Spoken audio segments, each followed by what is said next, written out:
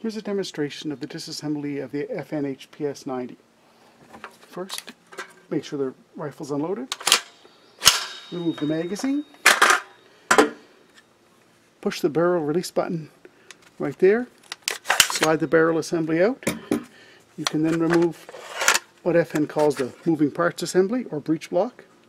If you want to remove the trigger pack, just slide up the butt plate, flip up this little lever here, and the trigger pack comes right out.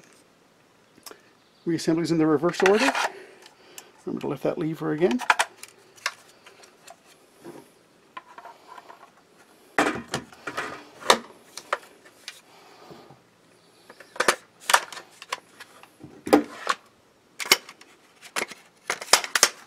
Just to press that button again. Here you go.